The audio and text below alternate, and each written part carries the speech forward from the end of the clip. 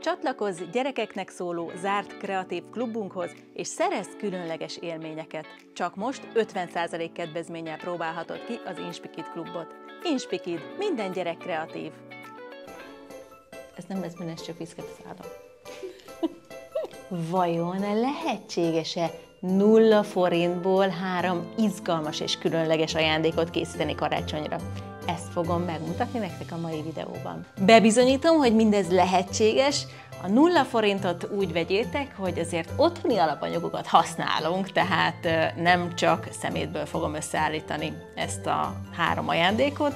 Amilyen nagyon extra, és szerintem a nulla forintos kategóriába belefér, az a mécses, csokoládé, és igazából a fonal, ezek valamennyire úgymond nulla forintba esetleg a kritikusoknak nem eshetnek bele, de én azt gondolom, hogy azért a legtöbb háztartásban ezek megtalálhatóak, szóval egy kicsit kerestek, kutatok otthon, akkor akár nulla forintból is létre tudjátok hozni ezeket az ajándékokat. És hogy mik is lesznek ezek az ajándékok, három kupacot láttok itt előttem, a végén csinálom meg a legfinomabbat, az az egyetlen ehető, tehát így könnyű legfinomabbnak lenni, és az elején pedig a gyertyákkal fogok bűvészkedni, méghozzá ebből a három mécsesből fogok hóemberes, mécses összeállítást varázsolni.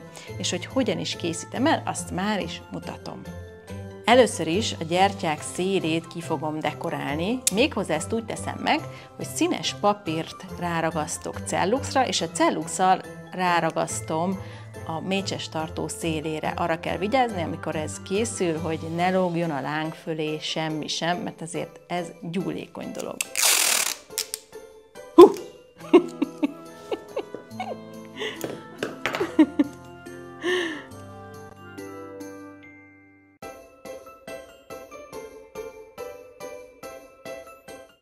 Elkészültem a három mécses kidekorálásával, egyébként önmagából is már nagyon cuki kis ajándékok lehetnek, de azért komolyabb karácsonyi ajándékokra vágyunk, úgyhogy fokozzuk itt a figyelmet. Úgy lesz belőle egy hóember, hogy hármat fogunk egybe csomagolni, és ezért nyilván a hóember tetejének egy arcot is kell festeni, úgyhogy fölfestem a két szemét sima akrilfestékkel, és a száját.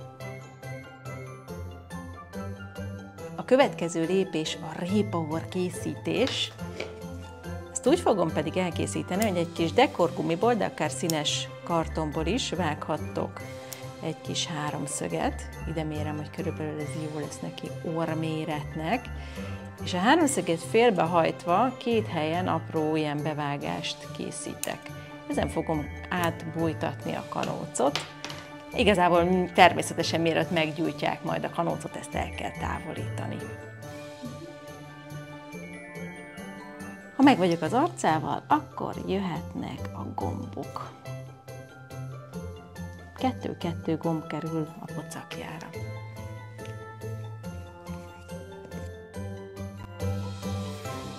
El is készültem az ajándék lényegi részével, de hát úgy lesz igazán mutatós darab, ha becsomagoljuk, méghozzá átlátszó papírba, azaz celofánba fogom becsomagolni, ez bármelyik hipermarketben be lehet szerezni. Cellux segítségével szépen, óvatosan becsomagolom, és utána készítem el rá a kalapját.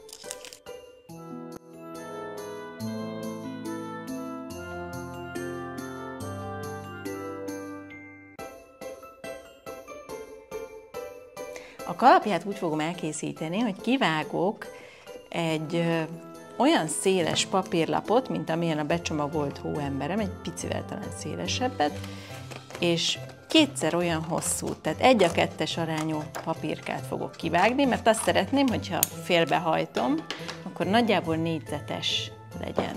Ezt a félbehajtott papírlapot rögzítem a tetejére, még hozzá egy sima ilyen tűzőgéppel, beletűzöm mindkét oldalon, celofán tetejébe.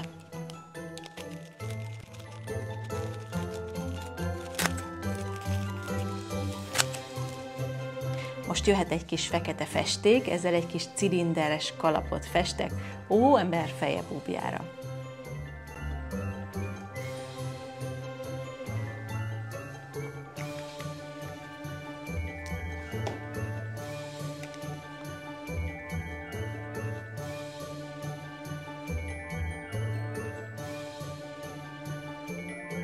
Van egy kis maradék dekorgumi, de maradék színes papírt is használhatok, vagy kiszínezhettek pirosra egy papírt, és én még azt gondoltam ki, hogy a kalapjára csinálok egy kis ilyen magyalt, ez egy ilyen tipikus karácsonyi növény, és ez nagyon jól fog mutatni a Holmbernek, mint ilyen kis kalapdekoráció.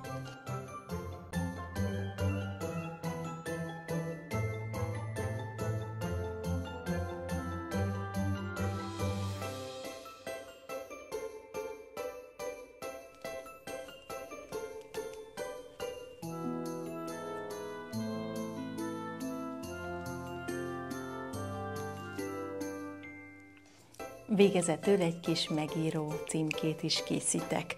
Hóembernek, amire ráírom majd az megajándékozott nevét, és hát a legegyszerűbb és legszebb címke szerintem a szalag motivum, egy sima kis papír fecniből, vágjatok ki egy ilyen kis szalag végig kis negatív V betűt, és ezt még érdemes beleragasztani a papír részébe, és írjátok rá meg ajándékozott nevét.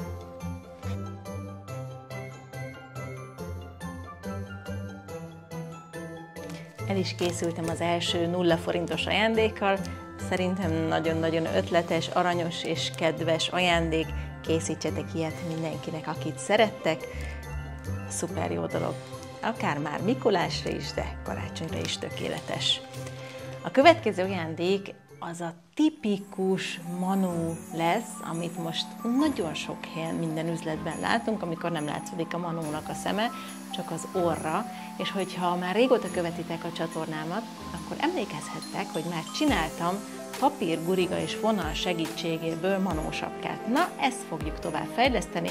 Először mutatom is, hogy hogy kell elkészíteni a manósapkát, utána pedig tovább fejlesztjük szem nélküli, szemtelen manóvá. A papír gurigából vágjatok le egy 2 cm-es darabot, erre fogjuk feltekerni, felfűzni a fonalainkat. A fonalakhoz pedig fogjatok egy füzetet, és kezdjétek el jó sokszor áttekercselni.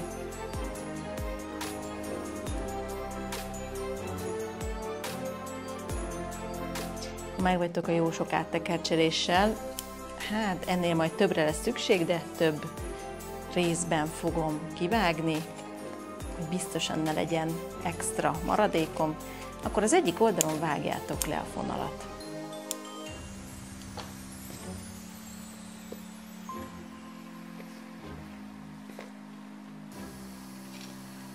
Így körülbelül, már is mondom, egy 25 cm hosszú fonalat kaptok, és ezt kell félbehajtani. Na és akkor mutatom a fűzési technikát fogjátok meg a papírhurigát, a félbehajtott fonalatokat fűzzétek át belülről, és szépen fűzzétek így át alulról a hurkon a másik részét.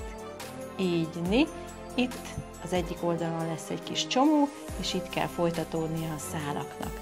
Na ezt kell még jó sokszor elkészíteni, egészen annyiszor, hogy körbe jó sűrűn legyenek ezek a fonalak.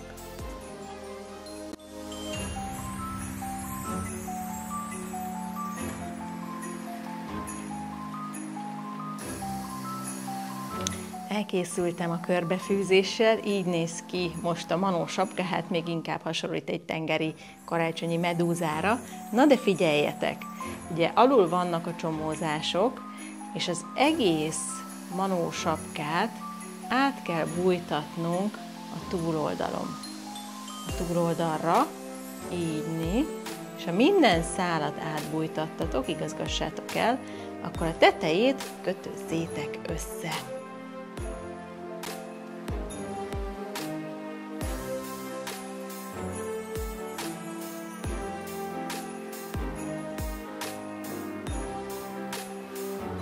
Ha megkötöztétek, akkor pedig csinos kis pompomra vagy bojtosra vágjátok a végét.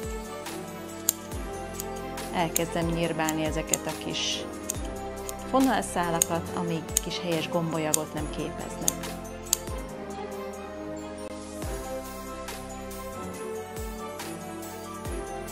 Ilyen lett a kis manó sapkám. Önmagában, amikor ezt annó csináltam jó pár évvel ezelőtt, akkor ebből girlandot fűztem, szóval ez, ezt most is lehet, az is egy tök jó ajándék, egy ilyen kis manósapkás girland, akár különböző színükből, akár egyszínűből, nagyon kis cuki dekoráció. Egyébként egy kicsit kisebb méretben tudom képzelni fülbevalónak is, vagy nyakláncnak, szóval lehet tovább gondolni. Na de akkor készítsük tovább.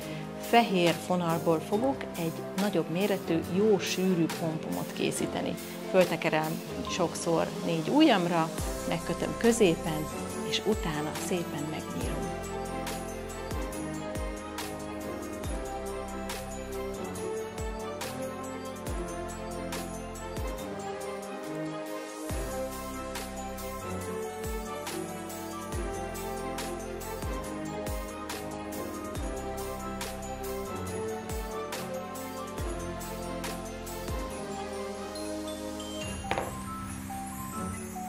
elkészültem a pompommal, nagyon kis helyes, tömzsi pompom lett, és ha ráhelyezem a sapkára, akkor már kirajzolódik a manúnak az arca, vagy hát ami látszik belőle a szakálla.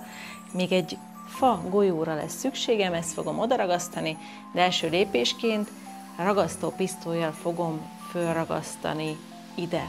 Ha nincsen ragasztópisztolyotok, akkor föl is lehet kötözni, de ebben az esetben érdemes hosszabb szálat meghagyni, mert itt át tudjátok bújtatni, és akkor össze tudjátok kötözni, de ezért egy kicsit az macerásabb.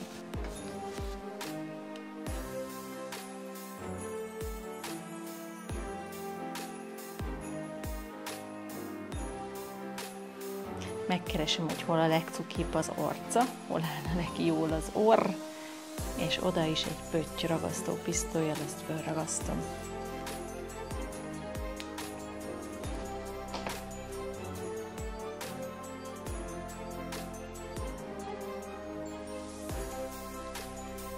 El is készültem a kis Mikulás manócskával. Önmagában is jó dekoráció lehet még egy kis akasztós madzagot kötni neki, hogyha valami függesztéknek vagy karácsonyfadísznek szeretnétek ajándékba adni, meg hát mini változatában fülbevalónak mennyire fantasztikus lenne, gondoljátok tovább és készítsétek el, ez volt a második nulla forintos ajándékötletem.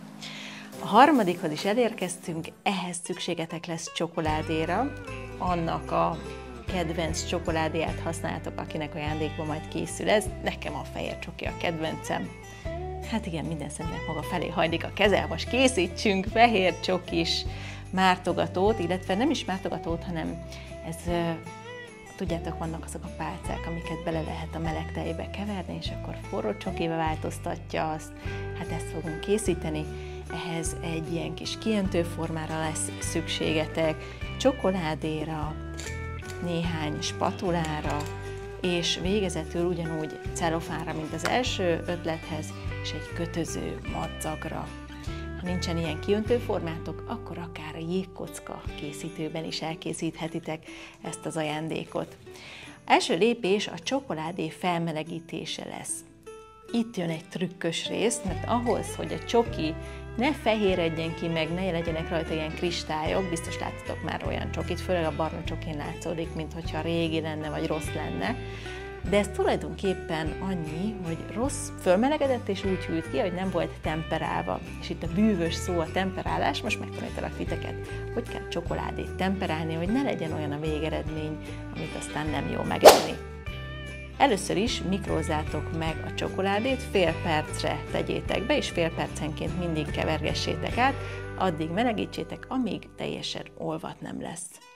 Ha már ennyire olvat, akkor készen vagytok vele, és szükségetek lesz még nem olvasztott csokira sem. Tehát, hogyha van egy bizonyos mennyiség otthon a konyátokban, akkor a kétharmadát olvasszátok így föl mikróban, és az egyharmadát tegyétek el.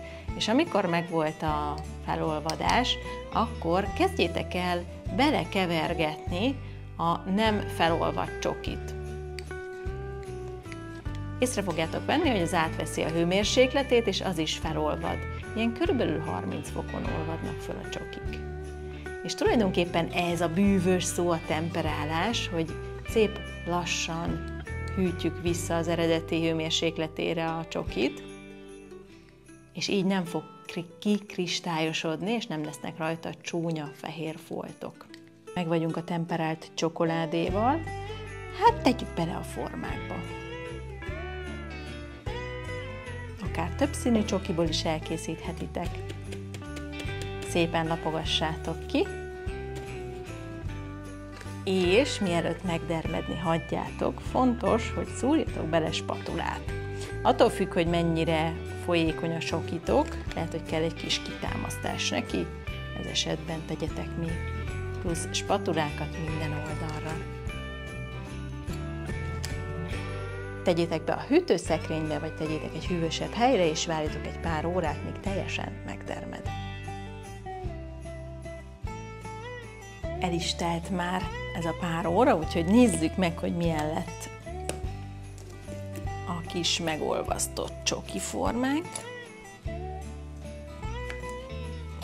Wow, nagyon jól néz ki. Az egyik és a másik pálca is tökéletesen megdermett. Ezt a kis csoki pálcát fogjátok, egy kis méretű celofánt tekerjetek köré, és kötözzétek meg a tetejét.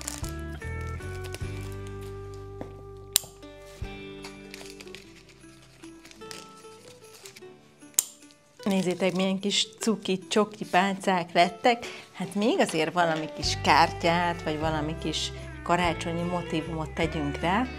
Van még ilyen kis darab dekorgumi, ebből fogok egy szívecskét vágni. A pirosból egy nagyobbat, a zöldből egy kisebbet, és ezt fogom felragasztani rá.